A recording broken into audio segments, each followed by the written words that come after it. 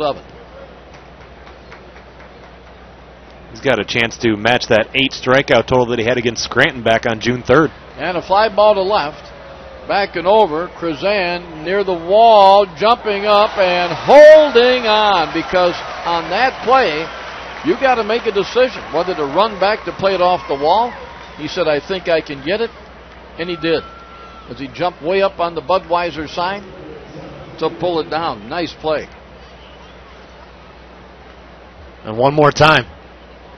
There it is again. Because that's the uh, point of no return. He's decided he's going to go for it and gets it. Look at that.